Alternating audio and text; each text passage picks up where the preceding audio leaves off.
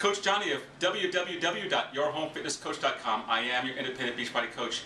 I just finished day 11 of Body Beast, and it was um, build shoulders. And in case you're wondering what I'm doing, I'm drinking have my have my post drink. Now I've never done these these um, uh, Body Beast supplements before, and now I'm seeing why everyone loves them. I'm on day 11, and I'm lifting heavier than I have in, in years. I feel no pain. I actually need to buy heavier weights because some of the weights I've outgrown, like the 52 and a half dumbbells and stuff, I, I ordered 60 pound dumbbells because in one week I've outgrown them. So anyway, my Shakeology cup, my post drink, and I had my Super Suma before my workout, and I have my Max Creatine, Body Beast, Body Beast Fuel Shot, and of course the Body Beast Base Shake. And for some reason, this one seems like it's emptying out quicker than the others. Hmm. Anyhow, um, I recommend that if you're going to do Body Beast or any workout program, you get the Body Beast supplements.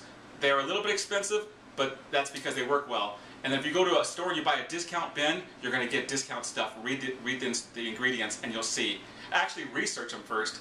Anyhow, uh, tomorrow's a rest day. Day 12 is my off day. I'm going to do uh, some abs. I'm going to do Scott Herman abs because there's a couple of um, videos that Scott Herman does.